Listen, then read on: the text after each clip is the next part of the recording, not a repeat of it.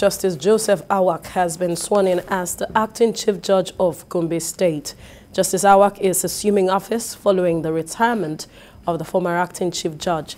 Governor Inuwa Yahaya also appointed four special advisors. Correspondent Larry Adeyemi reports.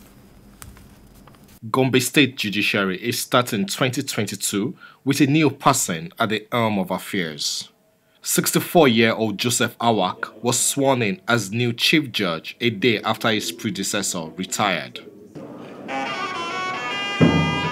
After the reading of the jury's citation, the Secretary to Gombe State Government affirmed the confidence of the executive branch in Justice Awak.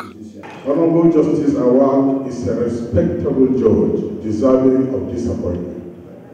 His dedication, experience, principle, posture, and uprightness make him a worthy occupant of this exalted seat.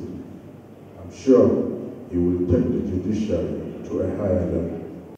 Gombe State Governor is confident that the new acting chief judge would model excellence and professionalism.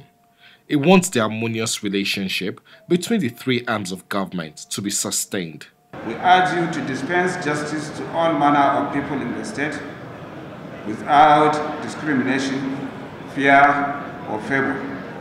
On our part, this administration will continue to support the judiciary and legislature in discharging their statutory responsibilities. Governor Yahaya also swore in four new special advisors to help with critical matters of governance. For two years and four months, Gombe State has not had a substantive chief judge.